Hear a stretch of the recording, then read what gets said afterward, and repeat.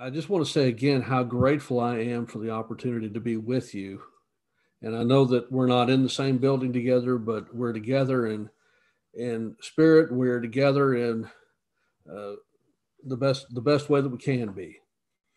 I hope that what we have to talk about today is useful to you. I, I hope it will be. Um, as you see on the screen there, the title of the lesson is Faith Comes from Hearing. And when we think about the world we live in today, we live in a world where there's a sad shortage of faith. And uh, that sad shortage is due to a lack of knowledge of the Word of God. We read, as was ably read, and I want to uh, give my thanks to the young man who read this morning. Um, as we think about this text in Romans 10 14 through 21, there's a verse that just kind of sticks out to us there and that verse is Romans 10 17. So faith comes from hearing, and hearing by the word of Christ. What Paul lays out in this text is also a, a need or a kind of a process to this. Verse 14 How then will they call on him in whom they have not believed? How will they believe in him who they have not heard? And how will they hear without a preacher? What Paul's laying forth here is a process for the Christian or for the potential Christian. You got to hear the word. And, and hearing the word is the only way that one's going to develop the faith that's going to drive them to obey the word of God. And in the course of our lesson today, what we will talk about really is just kind of one generic topic, and we'll get to it in just a moment we're going to approach it from two sides, one a negative and one a positive. But as we think about this hearing that Paul's talking about in Romans 10, the hearing that drives one to develop this faith, that hearing also produce and when it produces that faith, that faith is going to lead one to salvation. We think about 1 Corinthians 1 17 and 18. For Christ did not send me to baptize, but to preach the gospel, not in cleverness of speech so that the cross of Christ would not be made void. For the message of the cross is foolishness to those who are perishing, but to us who are being saved, it is the power of God. The one who develops the faith that leads them to obey the gospel is one who has given themselves over to it. They have delved into the word, they have heard it, and they have obeyed it. We think about this hearing as well something else that this hearing reveals to us is that we're in this word, this word that we hear, we become fully supplied for everything. In 2 Timothy 3 16 and 17, Paul writes there, all scriptures inspired by God and profitable for teaching, for reproof, for correction, for training in righteousness, so that the man of God may be adequate, equipped for every good work. When we hear this word, and whatever message that comes from this word, we're hearing God's word and we are being given everything that we need. And as we live in the world today, we talk about a lack of knowledge of the Bible. This word that's given to us is what we need to be sharing with them. Because as we have the opportunity to share it, we're going to be giving them the lifeline that God intended for them to have. And God, as we are aware in every, in other passages, Acts 17 30, 2 Peter chapter 3 9, we know that God wants everyone to hear it. Now, I recognize that, and we'll talk in our lesson today about uh, types of hearing that that don't bring about faith. We'll talk about situations that, that will not bring that about but we also want to see what what's going to drive the type of hearing that we want to encourage in others. We think about this hearing, and this hearing also allows us to present ourselves approved to God. In 2 Timothy 2:15, be diligent to present yourself approved to God, a workman who does not need to be ashamed, handling accurately the word of truth. And we think about last this last verse I've got on the screen here in Acts 17 11. The fact that hearing drives us to seek salvation, the fact that hearing drives us to be approved to God, the fact that hearing equips us for every good work. We think about the Bereans in Acts 17 11. Now, these were more noble minded than those in Thessalonica, for they received the word with eagerness, examining the scriptures daily to see whether these things were so. What did they, what made the Bereans noble minded was their focus. What was their focus on? Their focus was on the word that Paul was teaching, and what were they doing every day? What made them noble minded was what they sought. They sought word of nobility. They sought the word of God. And they checked, they checked the scriptures. They said, we want to make sure what this guy's teaching us is the truth. And as they heard it day to day, they went and checked. They did. They enjoyed what they they they knew what they were hearing was the truth. So both the the fact that they sought word of nobility, the creator and the son of God, their message, but they became noble-minded also because they were seeking something greater than the basic things of this world. They sought that which was on a higher plane. So we think about this. What we see in all of this is we begin with the Word of God being taught, and we end up with faith. So the question now becomes, and this will be the this will be the rest of our lesson today. How does one get from the written Word of God all the way to real faith? How do we get there? Well, I think what we'll see hear is what Scripture tells us: is that hearing is the way man develops his faith. Now, as we think about this, there are things, as, as hearing is the way that, that one develops their faith, there are things that will not develop faith. Uh, my genetics are not going to help me develop my faith. They're not going to drive, drive me to here necessarily either. We think about John 1.13. If you're able to turn over there with me. I'm not going to have every passage on the screen, and I won't reference every passage that I have on the screen. Uh, you can take them for your notes. But in John 1, verse 13, in fact, going back to verse 12, but to all who did receive him, who believed in his name, he gave the right to become children of God, who were born not of blood, nor of the will of the flesh, nor of the will of man, but of God. John, at the very beginning of his gospel, is laying forth the idea that the one who's going to come to Jesus and bear his name is going to have to be born of God, which means we think about these things. Under the old law, genetics mattered. The people of Israel were God's people.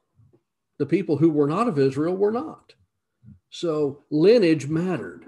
That changed under the new covenant. We think about what Ezekiel talked about in his letter, talking about the sins of the father not being visited on the son and the sins of the son not being visited on the father. The other side of that coin, uh, side, one side having sin, the other side salvation, is equally true. The salvation of the father will not be visited on the son. The salvation of the son will not be visited on the father in this respect. My children, and we're all uh, we're we are either someone's child or we're we're someone's parent, one of the two, or we've or we've parented our children out of the house and we're grandparents maybe. But the fact that I that I've obeyed the gospel, my wife has obeyed the gospel, is not going to save our children. Our children can't coast in on our coattails. I can't coast in on my father's coattails. Genetics won't matter in the grand scheme of things. And that was a point that was driven home hard in the New Testament that there was a need to give oneself over to Christ and, and submit to obedience the way that he demanded it. Something else we think about we say faith comes by hearing, it doesn't come by feeling. As we look around us in the world today, there are many in the denominational world who, and there will be many who uh, don't claim to be denominational at all, who, who say they have a feeling that leads them to be saved. Yet we know in Scripture that the feel the feeling is not what drove the New Testament Christian. It was faith that came from hearing the word. Now, we think about when the Holy Spirit descended upon the apostles in Acts chapter 2.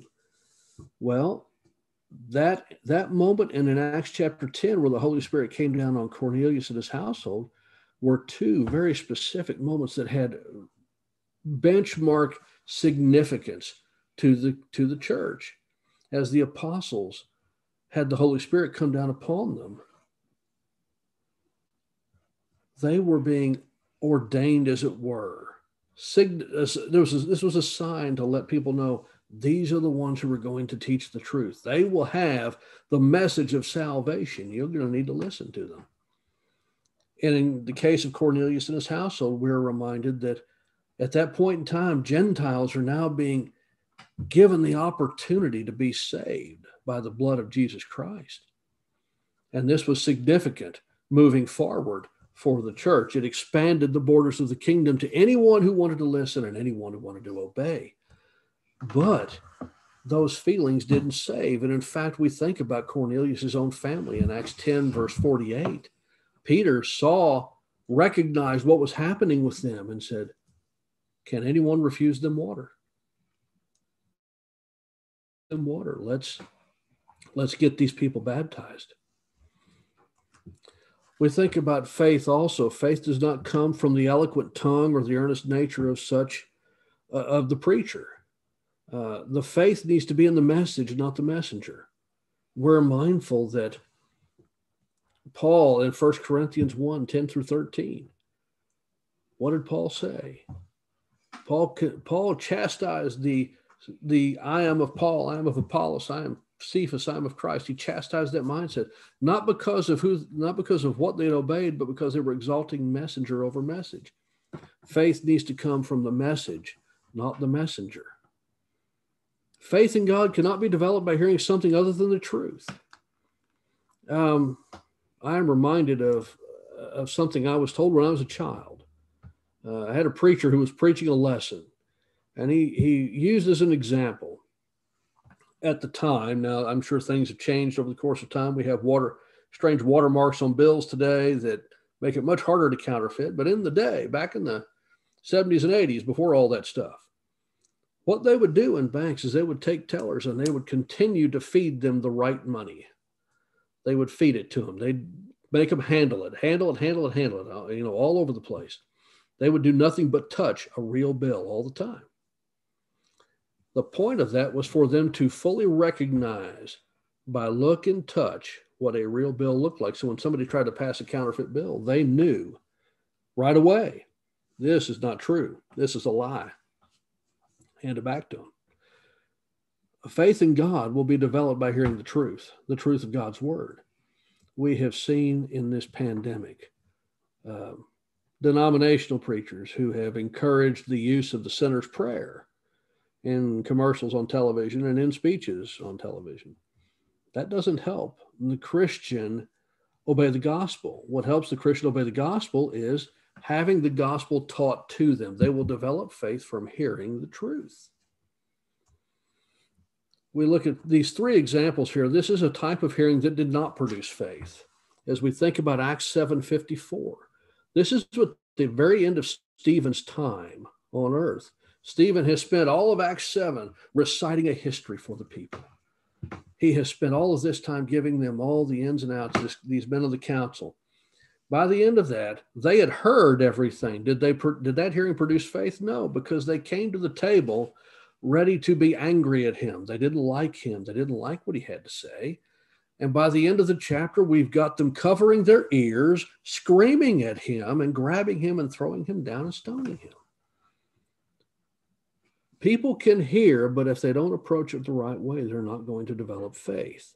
In John 12, 37 through 40, um, John records in this in his gospel here this moment where uh, there's a bit of reflection.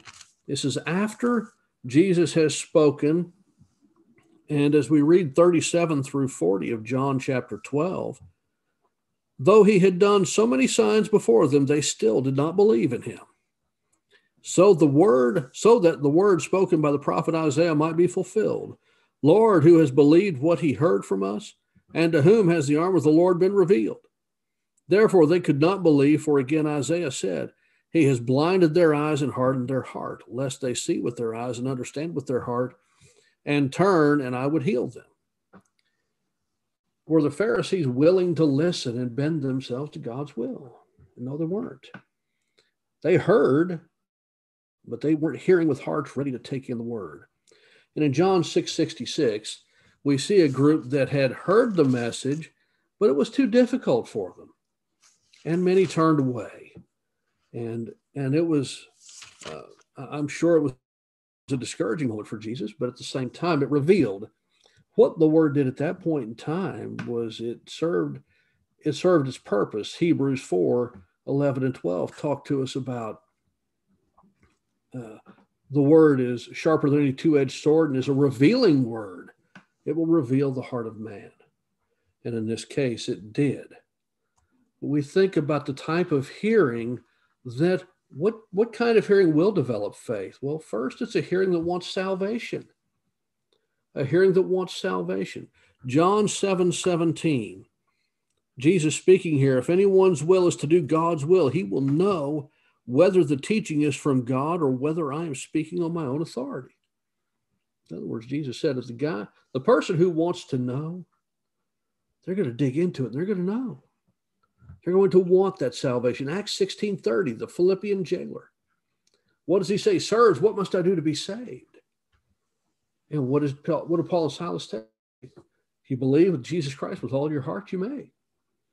And with that, we are we, we see that the Philippian jailer listens, repents as he washes their stripes, is baptized for the remission of sins. His hearing wanted to be saved.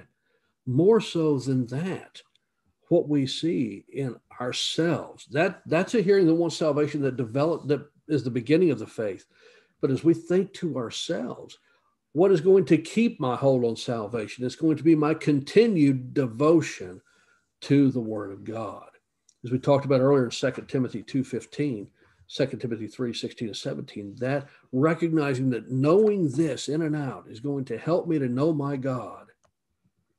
It's going to keep me wanting that salvation, not just coming up out of the water and that's it, but it, I'm going to be wanting to get to know him better and better and continue to keep hold of that hope that he's, he's extended to me. Also, a hearing that will develop faith is a hearing that is convinced of being lost. We think about Acts 2:37. They've heard this wonderful lesson. It's not a deep lesson. It's not uh, what we would call today top shelf preaching. Uh, Peter is speaking very clearly and plainly to them. And at the end of his lesson, they are what? They are pricked in their hearts. It now has occurred to them we killed the Son of God. Brothers, what must we do? What does Peter tell them? Repent and be baptized for the remission of your sins. They were convinced they were lost. Yet Peter said, There's a way back. Yes, right now you're in a bad place, but there is a way out of that. And that way out is to repent, turn from what you've done, turn, turn from what you've been, be baptized for the remission of sins. What'd they do? 3,000 souls that day obeyed the gospel. And they continued in the apostles' doctrine and teaching. Hearing of the love of Jesus, we think about Romans 2 4, and Romans 2 4 talks to us uh, just quickly there. Uh, and I, I, know I'm moving quickly. Uh, I I know we got started a little late, but I, I want to try to do the best I can to not occupy uh, the rest of the day. Romans 2 4, or do you presume on the riches of his kindness and forbearance and patience, not knowing that God's kindness is meant to lead you to repentance? When one hears of God's kindness, his true kindness shown in the sacrifice of his son, and the desire for him to want repentance, that type of hearing is going to develop a faith. You look further in the letter to the Romans, as we've got on the screen there, Romans 5 6. For while we were still weak at the right time, Christ died for the ungodly. You think about that love of Jesus. And as we see many in the world today who uh, don't want to, they either say they don't want to know God, they don't want to love God. Or they don't have the right kind of love for him. When we can properly show them what has been done for them on Calvary's cross, that one who's concerned about the love of Jesus when they hear about it, they'll they'll develop a faith. Hearing of the testimony of God. We think about First Thessalonians 2:13. First Thessalonians 2:13, and we also, Paul writing here, and we also thank God constantly for this, that when you received the word of God, which you heard from us, you accepted it not as the word of men, but as what it really is, the word of God, which is at work in you believers. How do the Thessalonians feel about the message they were given? Let's remember earlier we talked about how the Bereans were no, more noble minded than the Thessalonians. Yet the Thessalonians did what? Paul says, You received this as not the doctrine of Paul, not the doctrine of Silas, but the word of God. They heard it and they said, That word that he says, that's the authority. That's the authority. I've got to listen to it. When one recognizes that authority, Matthew 28 18, all authority has been given to me in heaven and on earth. When one recognizes that what we hear from Christ is an authoritative message, it's not suggestion, it's commands. John shows us throughout his gospel. It makes this mention over and over again in his gospel, makes the mention again in his epistles. The basic idea if you love God, you will keep his commandments.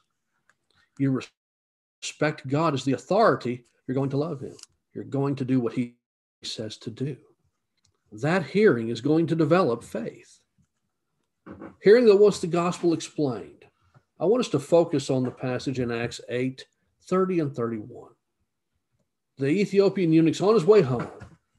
The Holy Spirit has sent Philip to him, has sent Philip to him. And what does the eunuch say? Philip, Philip says first, Do you understand what you read? What's the eunuch say?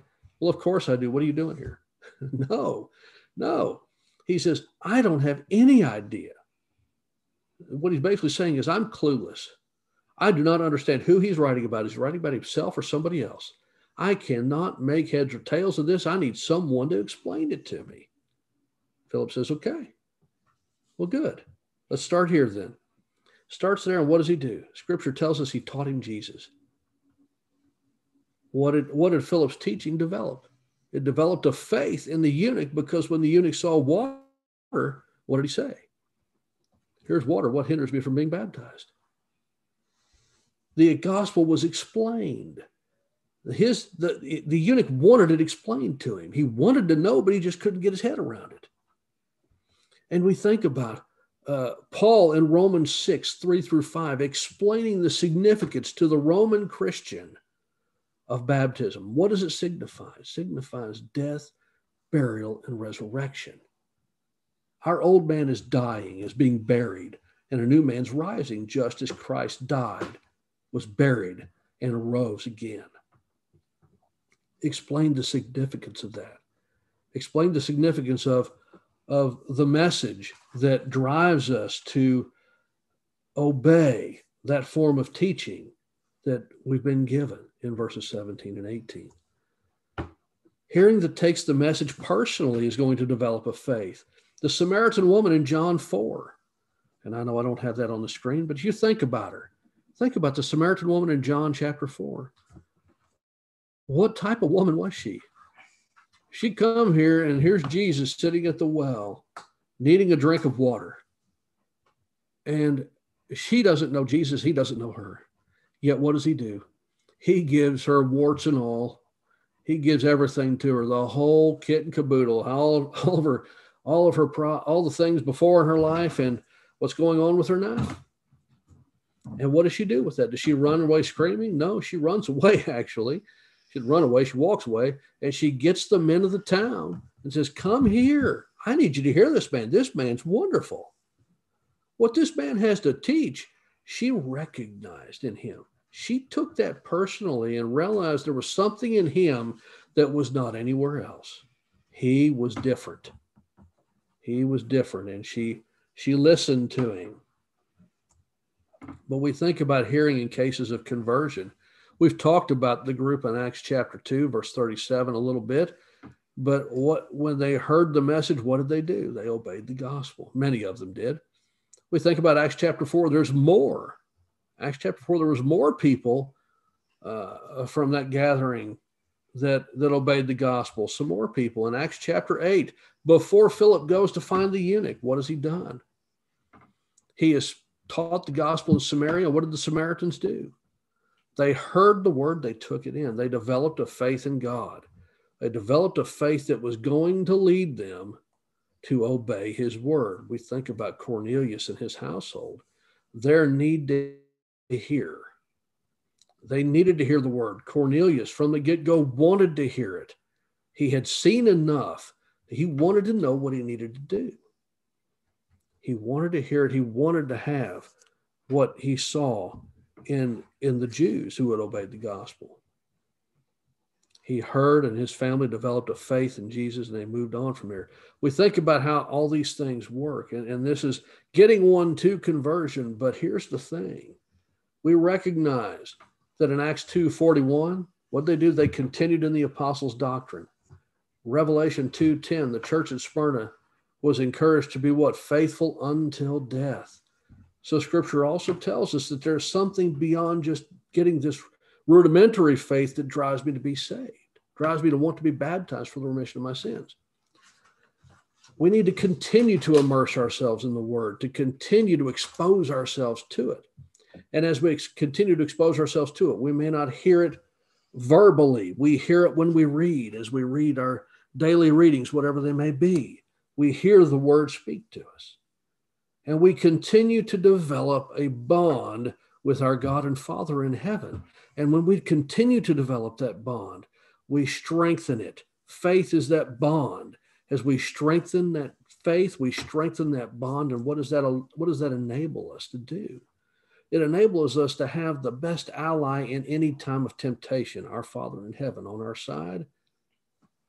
And we will overcome those things as we conclude the lesson this morning, I'm not certain if we have an invitation song or not, but as you as you take the lesson, I hope this is something that as you go out into the world this week, as you have that opportunity, whatever whatever it may be, realize that there are people out there, just as there were people in the first century who wanted to hear the truth. There are people all over this country and all over this world who want to know the truth.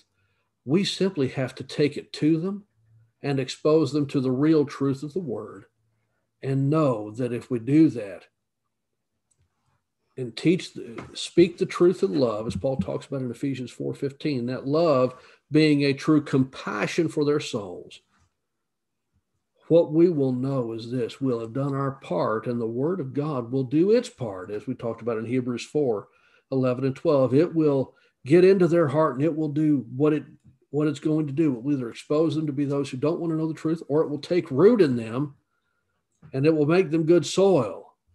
And just as we think about the parable of the sower. I'm grateful for your good attention. I'm grateful for the time that you've allowed me.